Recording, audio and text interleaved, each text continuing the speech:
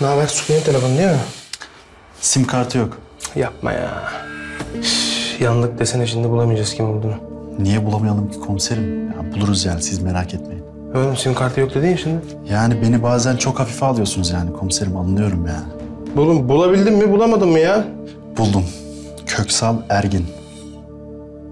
Şu ustabaşı değil mi ya şantiyedeki ustabaşı mı?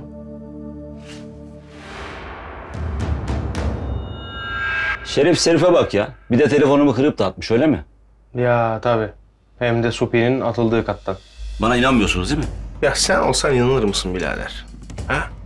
Yok sabah telefonumu çalmışlar da bir baktım bulamadım da atmışlar aşağıda ben bilmiyorum da falan. Bakın gerçekten sabah baktığımda telefonum yoktu. Çalındı sandım. Belki de bir yerde düşürmüş olabilirim ama Tamam. Hadi diyelim çaldılar. Peki niye atsınlar senin telefonunu aşağı? bilmem. Belki de ihtiyaç duymadığı için atmıştır. E, Tabii. Zaten cinayet işlerken ilk akla gelecek şey odur değil mi? Aa demin ben bir telefon çalmıştım ya. Aa dur bak, dur ben onu bir atayım aşağı falan. Bunu ben nereden bileyim komiserim? Onu ona soracaksın. Kime? E, telefonu oraya kim atmışsa ona? Evli misiniz? Hayır. Niye sordunuz ki? O zaman bayağı titizsiniz. E, hafta bir kadın geliyor temizliğe. Titizim evet.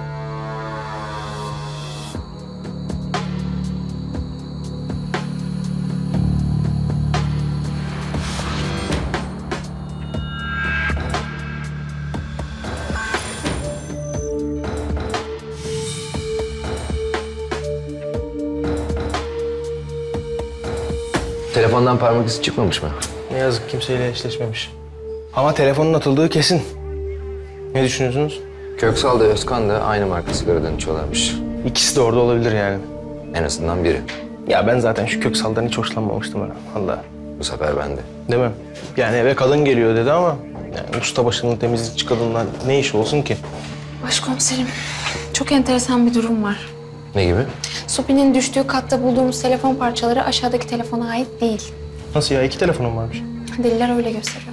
Belki de diğer telefon sürprizidir. Tamam hemen arıyorum Kobi'yi.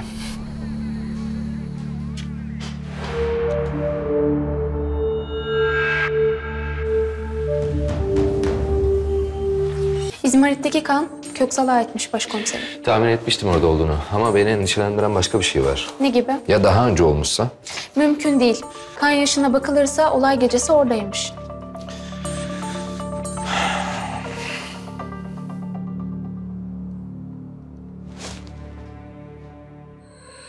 Selim, Dinliyorum başkomiserim. Köksal'ın olay gecesi şantiyede olduğu kesinleşti. Evet, İzmarit ona aitmiş. Hemen alıp getiriyorum merkeze. Bir sigara izmaritinin filtresi büyük ölçüde selüloz asetattan oluşur ve bir filtre en az 18 ay bütünlüğünü korur. Bulunduğu ortama bağlı olarak bu süre 10 yıla kadar uzayabilir. DNA'nın da en az bu kadar bozulmadan kaldığı göz önünde tutulduğunda bir olay yerinden toplanacak delillerin başında neden izmaritlerin geldiği kolayca anlaşılır.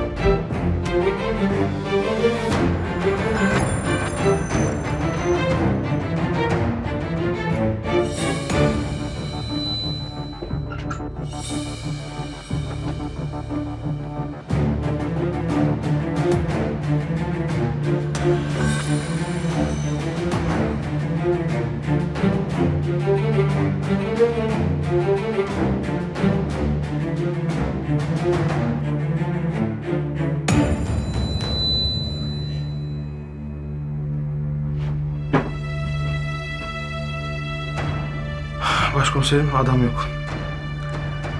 Şantiyeye de baktım. Evindeyim şimdi. Tamam bekliyorum.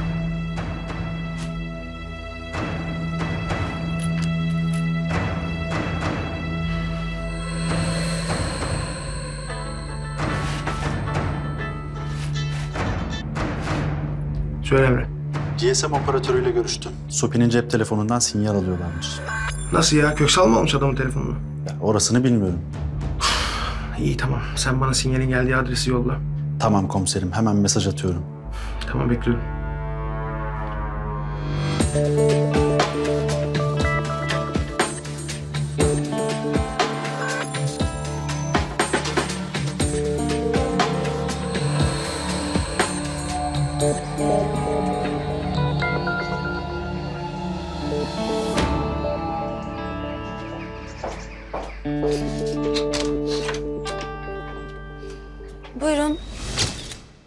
Bengi Günay, 25 yaşında. Ee,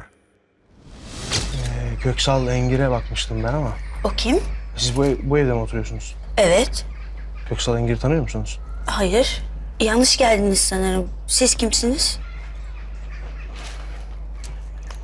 Komiser Selim. Bir saniye. Hüsnü! Bir bakar mısın? Hüsnü kim? Kocam.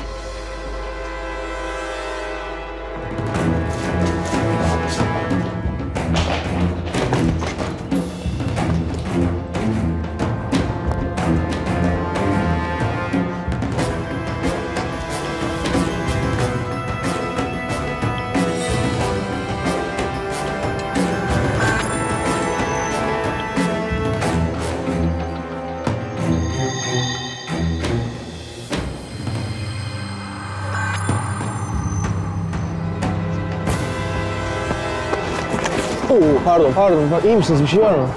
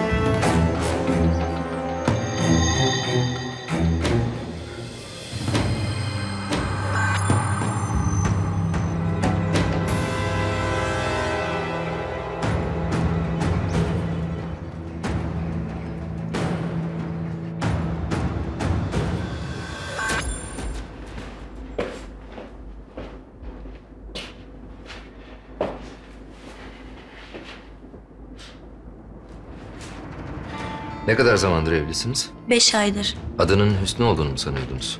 Anlamadım. Hüsnü zaten. Bakın kocanızın gerçek adı Köksal. İnşaatlarda ustabaşılık yapıyor. Olur mu canım? Biz çok zenginiz. Neden inşaatlarda çalışsın ki? Hem Köksal nereden çıktı? Hiçbir şey anlamıyorum. Kocanız ne iş yapıyordu? İş adamıydı işte. Sık sık seyahat ederdi.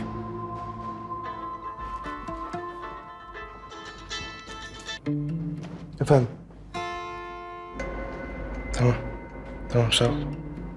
Telefondan sinyal alınmıyormuş. Parçalamıştır herhalde. Kocanızın gidebileceği yakın bir arkadaşı ya da akrabası var mıydı?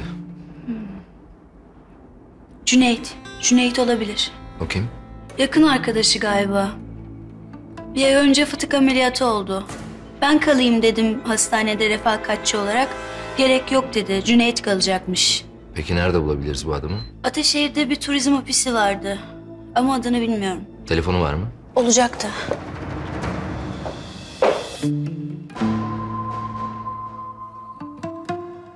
Her yeri arayın.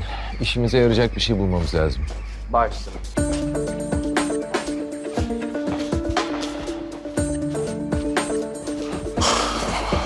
Telefon kullanılmış. Belki de hattını değiştirmiştir. GSM operatöründe Emre sorsun adına kayıtlı başka bir hat var mı diye. Ben hastaneye gidiyorum. Ameliyat oldu hastaneye mi? Evet, bölgedeki mobiselere bakın. Belki adamın nereye gittiğini bulabiliriz. Hadi bakalım.